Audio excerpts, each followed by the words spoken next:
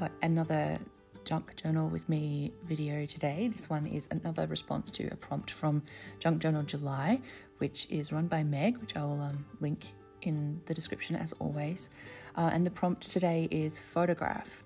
So I've taken this photograph of myself, this was a selfie, and I've actually put it in Photoshop and done a bit of um, playing with it to make it a little less clear. I've added some noise, I've taken out the color, I've, um, I mean, it's obviously very clear what it is, but it looks a little bit more like a photo from like a newspaper rather than a crisp digital image. Um, and I've printed that out on some glossy photo paper that's actually also a sticker, um, which you'll see a little bit later. And now I've got this little scrap of paper which I am writing on uh, backwards because I'm going to cut it out, and the paper is quite delicate and the pieces that I'm cutting are quite small. So I, I want to have uh, like some guidelines to cut on so I get the letters right, but I don't want to have to erase pencil lines from it once they're cut out because they're going to be too fragile and they'll just break. So I'm just writing on the back and doing it backwards so that then when you flip it over, you won't have the pencil lines there. Um, yeah, it's possibly a bit of a roundabout way of doing that, but I have a pretty roundabout brain, so it's just how we work around here. Um, so yeah, I'm just using my craft knife, uh, a little scalpel thing to cut them out, and then um, setting them aside because they're going to go onto um, another piece of paper in a minute. So yeah, I'm cutting them out with this knife, which is the same one that I use for doing other kinds of collage. I find that it's really precise and um, I have like good control with it. Um, so I can cut out these really tiny pieces and yeah, that works pretty well for me. I also really like having this very small piece of cutting mat as well. Um, it's handy for getting into tricky places, which you might have seen in my last video, a previous one. Uh, I think the prompt was good vibes because you can tuck it into like pockets and things if you need to. Um, and it's also nice because I tend to work on a pretty small scale when it comes to collage. Like I'm often cutting out really tiny little petals and letters and things like that.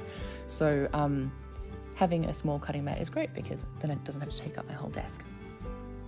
Um, so yeah, I've got this piece of uh, like vellum tracing paper stuff, and I've typed some words on it, but then the first and the final word in this little thought that I've had are going on um, in these sort of cut out letters. And because you're going to see the back of this piece when I have it in the journal, I don't want to put glue on it um, to hold these little pieces of, of paper, these little letters in place, because you'll see the glue marks on the back.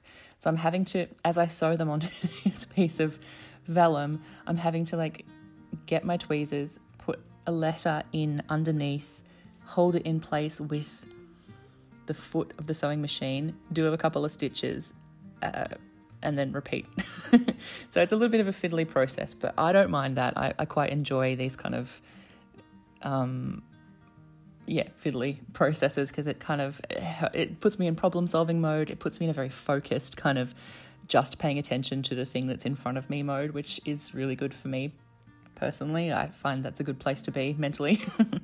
Um, so yeah it's again this is the kind of thing that i know would drive some people crazy and that they would hate to do but for me it's it's fine. It's fun. It's good. So i'm stitching all of those in place. Um, and then I've got this little sort of sentiment which says um, every expectation and interpretation produces a unique distortion. So that's just some reflection that I was doing um, around uh, frustrations around being heard and understood, and the fact that it's really difficult to ever really communicate effectively no matter how hard we try, with the people who we want to understand our internal worlds, right? And um, sometimes that can be really frustrating.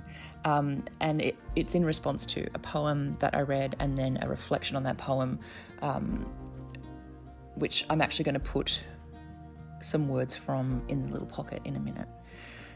Um, so, yes, I took this little piece and I attached it to a piece of plastic packaging. Um, I know this is a great junk journal tip that lots of us do.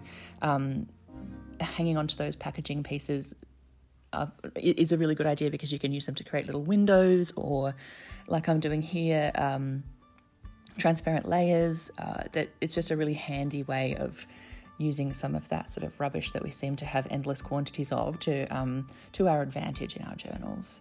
It is tricky to add adhesive to it, obviously.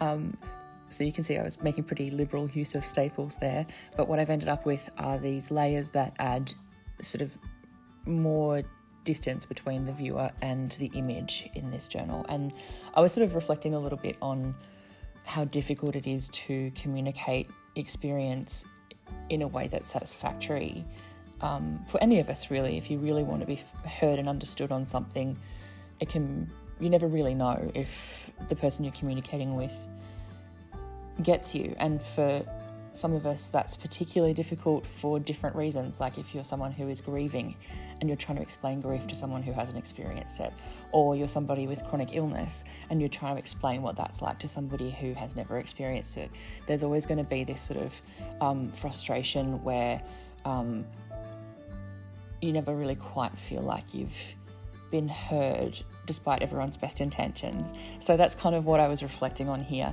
Um, and I had some words which um, were by Pádraig Ó Tuama. I'm, I'm, not sure if that's the best pronunciation. My Irish is really bad. but um, he was writing about a poem by Ada Limón called Wonder Woman, and it really uh, hit home for me. And what the poem did too, actually. I'll link them below. Um, and so I've sort of transcribed his words, and then they are kind of what sparked this particular um, page, I guess. So that's kind of where we are. anyway, um, I hope you enjoyed this video. I hope you like the spread. I really like the way it turned out. It's um, pleasingly textured and layered, which is always something that makes me feel good. And yeah, um, I'll see you again really soon. Bye.